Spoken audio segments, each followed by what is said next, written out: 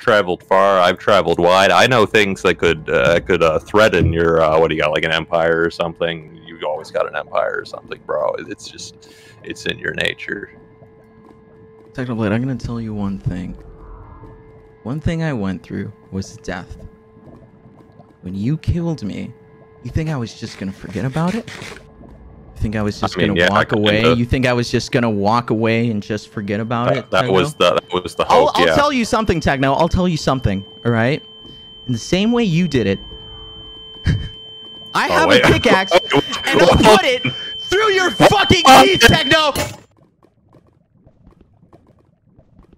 I, I I didn't do anything. Where is he?